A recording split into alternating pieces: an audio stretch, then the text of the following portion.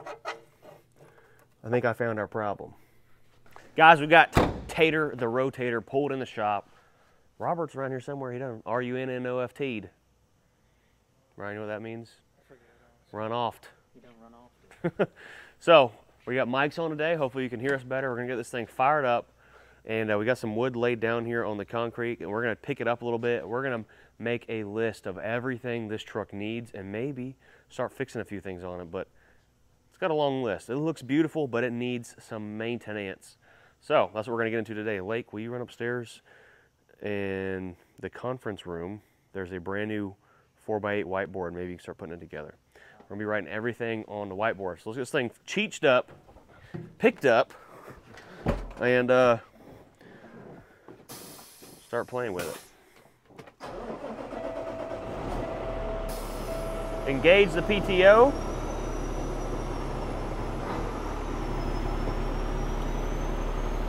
PTO engaged. Let's go back here and see if they can get these booms down. Stabilizers. Oh, I don't have to yell. We got mics on. Sorry, folks. I'm sorry. I'm sorry.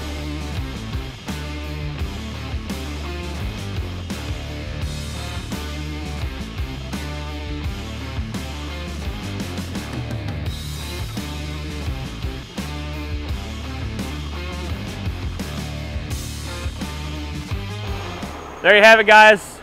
We're learning, so bear with us. There's gonna be lots of criticism. I already know it, but this thing is 100% off the ground. It's crazy because that just goes to show you where all the weight is on this thing because that outrigger is just past, or the front outriggers are just past the center section of the truck and it picks the front up no problem because all the weight is back here. So pretty crazy. Now we get this thing shut off, start going over it with the fine tooth comb. Whose idea was it to put this thing 10 feet in the air first? That's kind of what I was wondering. All right, one front tire off. Rob made it over here. I guess Bruce is going to put me to work. Yeah, I gotta get him dirty. so I figured we'd start at the front of the truck and uh, make our way to the back because we noticed the brakes are a little spongy. I wonder if it's got drums on the back. I guess we'll find out, won't we? I was wondering the same thing. Brake pads don't look that bad. You can definitely see where they got a little toasty a few times, but rotors are nice. That's something, I don't know if we should maybe find out what the specs are on them when they're new and then go from there.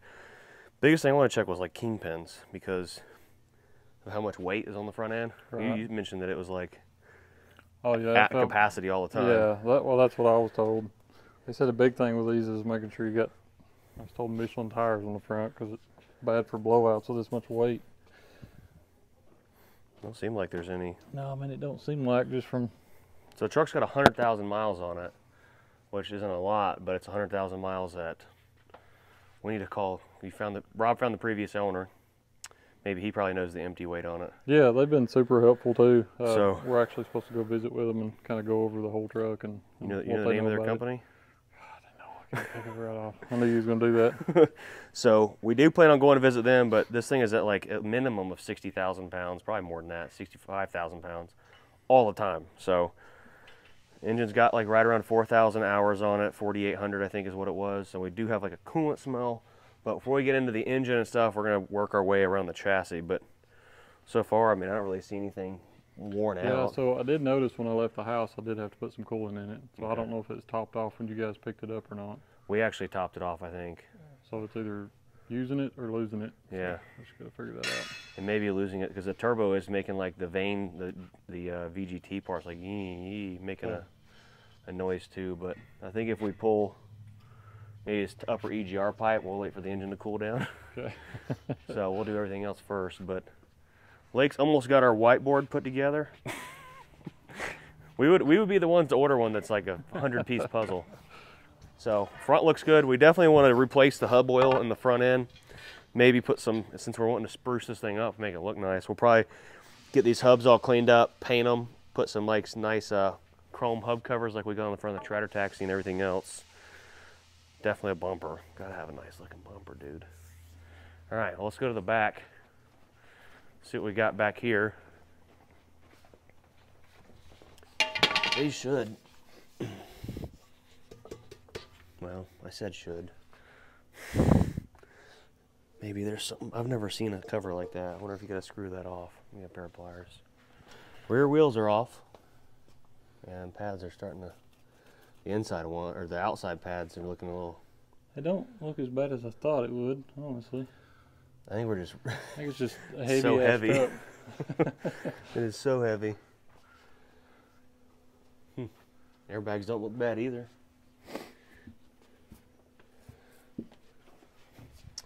Well, that answers a lot of questions. The other thing I do want to point out is like the tire wear is like, s- yeah, this tire's junk. Like, what the heck? Look at this tire. That is really weird wear pattern. Probably from the turning and stuff. It's just pissed it off. Yeah. Well, we're putting tires on the list. It looks like. Thank you. I can almost sit on a regular chair underneath this thing. Checking U joints and stuff. Yeah, I was just curious about the U joints of this thing being heavy as it is. I probably need to pull it out. I think the big thing we got to fix is the clutch. Definitely. I know when I drove it, it was terrible. It was right on top, and we might be able to adjust it. We can look at that here in a minute. It's Look. got like I mean like a quarter inch of free play, which is better than nothing. Yeah, But it won't hold anything though. we might be able to pull the cover off there and inspect it. Maybe we do that. Yeah, so we probably have to put a clutch in it.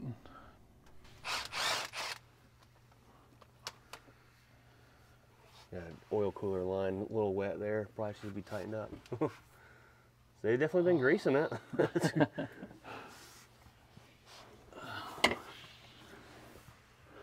yeah, I guess there ain't much you can really see other than a lot of clutch dust. Yeah, I was wondering if this was like a self-adjusting clutch or if this was one we could get a little bit of play in. It's looking like self-adjusting. Oh, it definitely needs track bars. They're shot. So the track bars for the rear ends that hold the rear ends like centered in the frame are shot. You can see like the bushings right here coming out of them.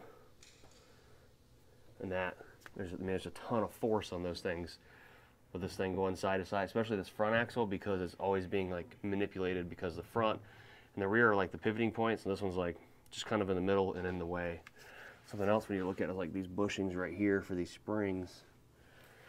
Like these all, those look okay. They don't look too bad. But definitely, this track bar, track bars wouldn't hurt to get replaced, and they're not too bad to get to. So pretty much in the rear of the truck, we need to address changing all the rear axle fluids, that cross track bar thing. Rob pointed out that the engine definitely needs to be serviced. This gearbox, I mean, they definitely kept up on greasing, but it hasn't been greased in a while because there's lots of buildup from where things have been greased, but maybe they haven't been greased. Maybe the last operator that ran it didn't grease it as much as he should have. There's no, no, no telling until we meet the company that used to own the truck. So, so this thing is losing coolant somewhere. Hopefully, it's not losing it between the block and the head. EGRs are a pretty common problem on these. So we're going to pop this pipe right here because the way the exhaust gas flows, it goes through the exhaust manifold, out the front over here, through the EGR cooler, which uses coolant to cool down the exhaust gas, and it makes a big old U-turn right here. Has an exhaust EGR valve, which is usually closed until it wants the gas to flow back into the engine. It flows through there, up and over, and back into the intake. So we're going to catch it right here at the back of the EGR, and if there's any liquid in there at all, we know the EGR is leaking. So pull this apart. It's a little spicy. Do I need to find us a pan? No, there won't be any coolant come out.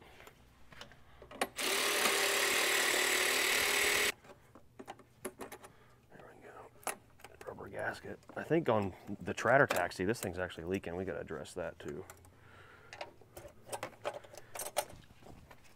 That's hot. There's our interesting part of the video.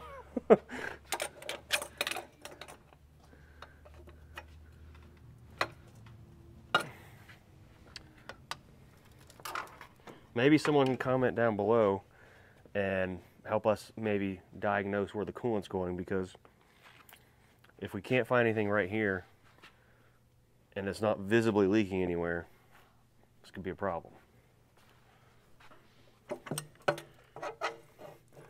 I think I found our problem. It's wet. That's not good, Ryan. So we'll pull this pipe the rest of the way off right quick because we're gonna have to replace that EGR cooler, which means turbo's got to come off. I don't know if it can be slid out the back. I don't think so. no, no, no, no. there we go. There we go. Yep. See how it's wet in there? Taste it. It tastes like coolant. Is it a little salty? The sour? So that's good. I mean, it's not good, but it means that EGR is the problem and it's not a head gasket problem or something like that. So it's bad, but it could have been way more bad. See that right there? You know how you know it's coolant? If it's spicy. All right, yeah, inside here, it's gonna be wet, yeah. All right, well, Lake got our whiteboard put together. Let's go write EGR cooler on the whiteboard. Problems? You should have been a teacher. You got great whiteboard handwriting. I can't, I can't write flat like this on the wall. EGR cooler. E-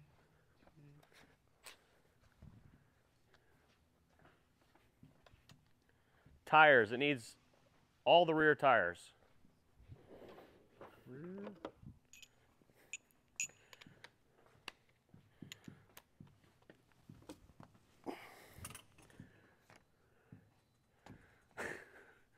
Hope, I hope up my the writing whole looks better on camera. We're gonna have no room for everything else we need. All right, go smaller. Now you can leave it on there. It's fine. I'm just messing with you. I had one job. If we got more problems than I can fit on the board, It's a problem. that's a problem. I don't think we're gonna have that many problems. Hopefully, I d- would like to find this air leak though. All right, we're gonna break for lunch. It is like one o'clock here. Go grab some lunch. Come back. We'll find the air leak on this thing. We're gonna go check out on the same video the Miller. It's a Miller DTU, right? I think we got out there. We're gonna Yep. end up rebuilding like all the cylinders on it. So we need to get like the model and serial number off of it, and uh, maybe you guys can let us know what to check on that because it's. How old do you think that thing is? uh, probably eight, nine years old. So we got a lot to uh, get to working on that. So let's go get some lunch. Well, guys, we got done eating lunch. Uh, Rob had something he had to go handle, something really big, and it'll be maybe in a video over the next couple days. We shall see. It might be in this video. I don't know yet. Depends on what we get done today. So I just busted my rear on the scooter. Wipe out. Hard too, though. Yeah, it did not feel good. Um, I've decided to hold off on pulling the turbo until we get my laptop up here and diagnose there's a code. I think there may be something going on with the actuator in here because the turbo's like like uh, the vanes you can hear them like open and closing, open and closing. Like and they shouldn't be while it's like sitting there idling. So there might be something going on there. But let's go to the whiteboard because I wrote a bunch of stuff on the whiteboard over here.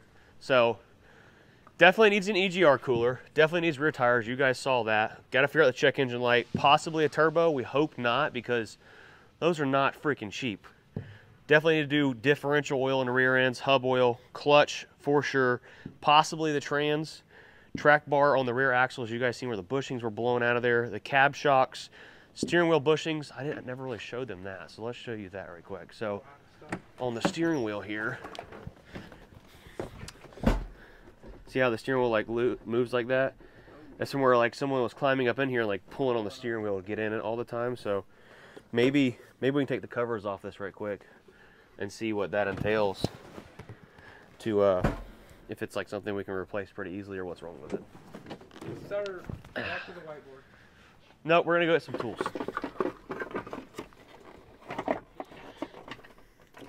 Well, I got this thing coming apart here, but it ain't wanting to snap apart.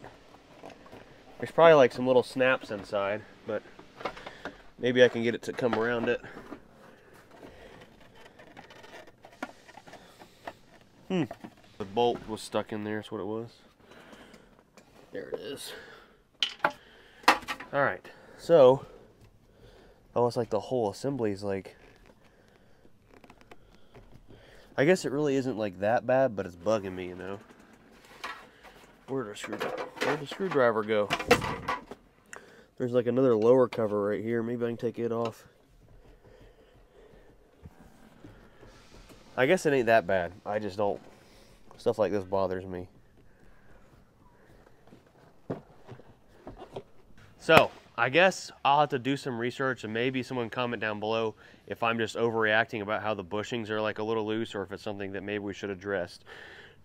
Steering wheel bushings, alignment, we're definitely gonna do an alignment on it just to double check it. I don't think it's really out. The new front tires are pretty dang new. Maybe we can try to find a date code on these things. Let's see. I don't see anything.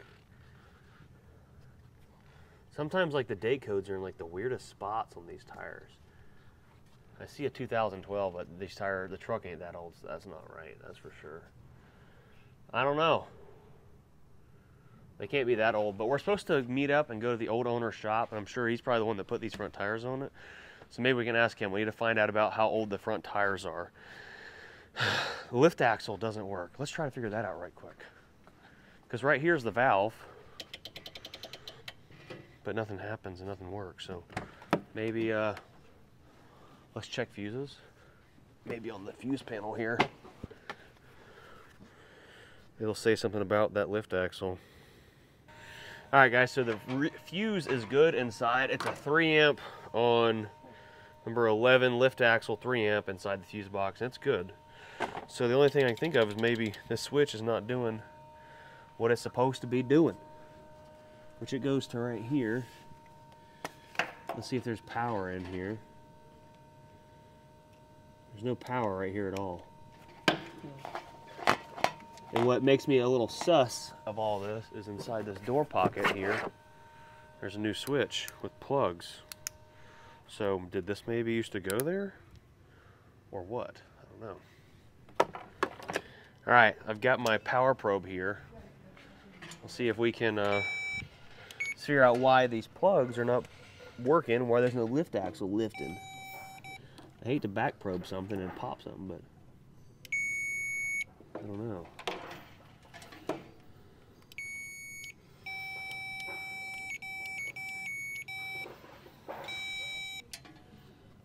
This doesn't make sense. Like there's a disconnect somewhere or what? Because you think up would be up and then down would be to lower. But there's no valves, no nothing clicking anywhere, even when it has like air in the system. And I don't see any switches on the dash that would tell it to do something.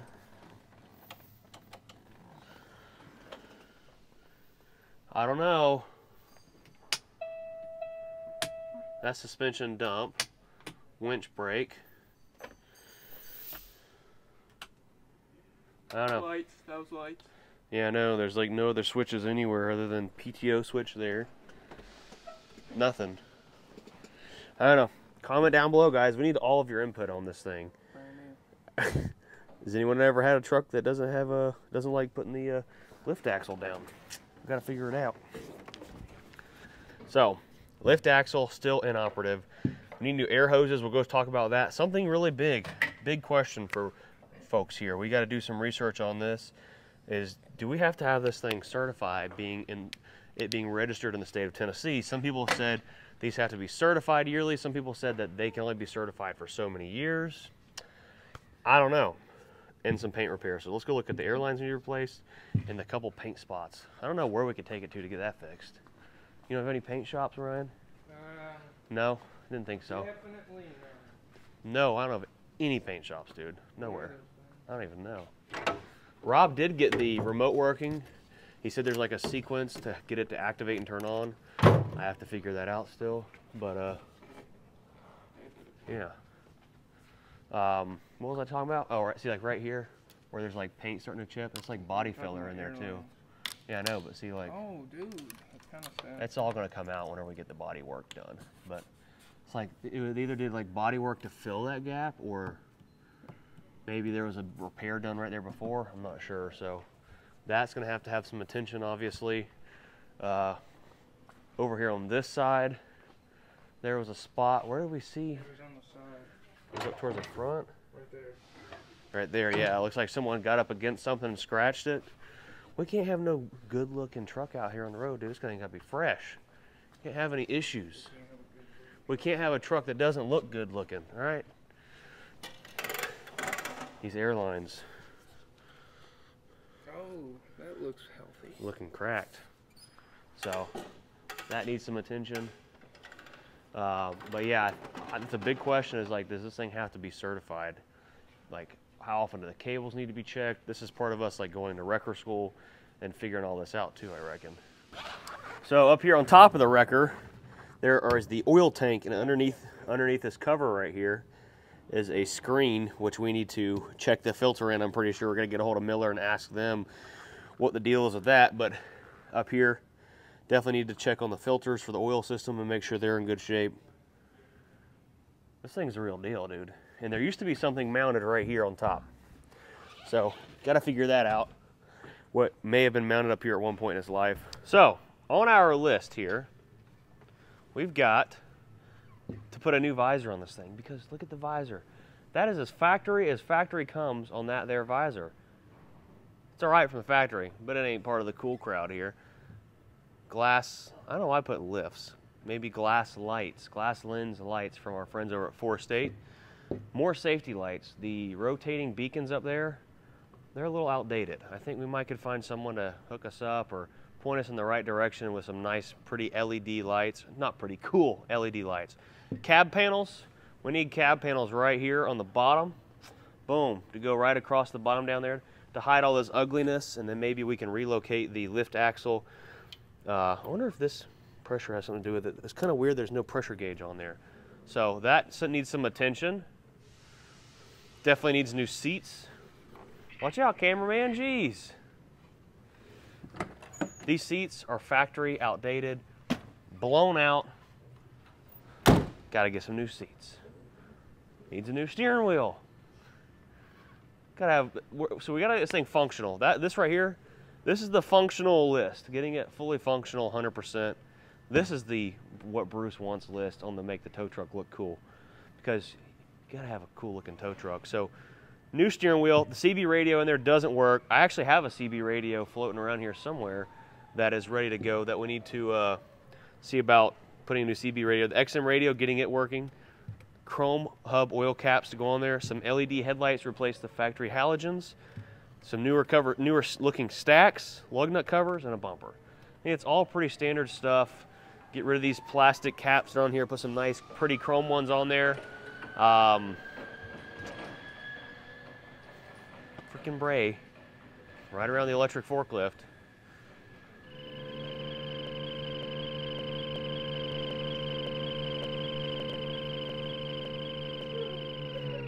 So right here are the cab panels, as mentioned, like something like this to go along the bottom of the cab, like we have on the Treader Taxi here, but on this unit. As we made it down here in the other lot, and this is what's called a DTU. It's a Miller Detachable Towing Unit that we plan on putting on Brutus, but it's got a few issues. You can see right down here that this cylinder has got some oil leakage going on. We are not afraid to rebuild cylinders. We've done plenty of those on farm equipment and tractors and stuff. Um, the only problem that the guys mentioned that they had a hard time getting this on and off the truck um, whenever they had to remove it to do anything. It was kind of just a huge pain. These are not made to come on and off like every day, but they're made to come on and off if you had to, you know, within a little bit of reason, not being the most difficult thing to do. But I'm sitting here looking at it. This lift is not in the worst shape, but it needs some work. You know, there's a little bit of rust here and there. We may have to just clean up and make it look nice again, but I don't think it's too far off for us to make it a really cool project to uh, put behind Brutus. Looks like it's loaded down with like all the tools. So this is what we plan on putting on Brutus. It'll look just like this once it's on the truck. Right there. Pretty simple setup, don't you agree? Yep. Not much to it. So these are Miller detachable towing units. Let's go look at a, there's a Zacklift sitting over here on another truck. Let's go check that out. So this right here is a Zacklift. This one's built a little bit differently. It's got this ginormous cylinder in there that moves this whole entire system out to pick anything up and drop it down.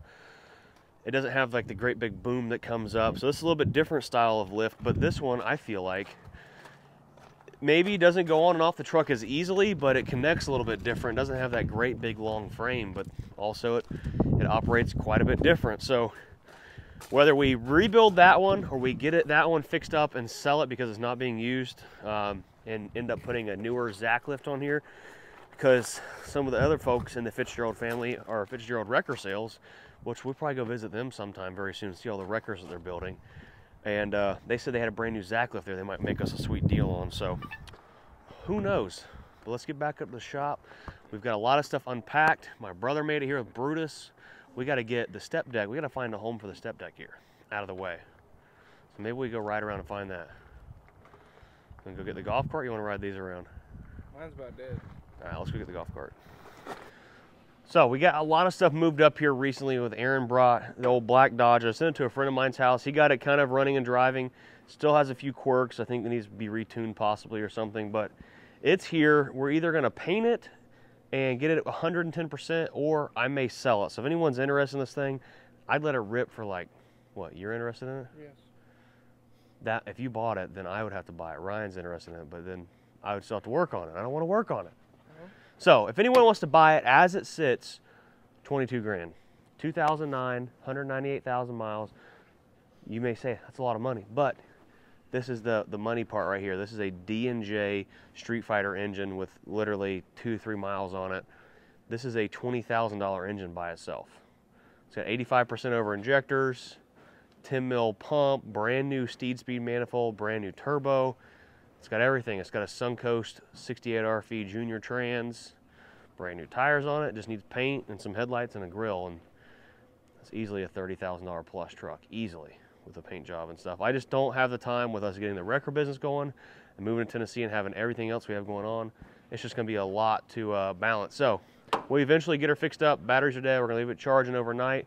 Be back up here tomorrow, tinkering around. Got a lot of stuff to finish unpacking a lot of stuff to throw away, get rid of. But comment down below, guys, if you have any insight on the tow truck and the things I asked during the video. Make sure you smash that like button, comment, of course, subscribe if you're new. And uh, we'll be headed down to Florida to pick up our brand new Globe RGN heavy haul trailer in the next couple days, guys. See you later. Peace.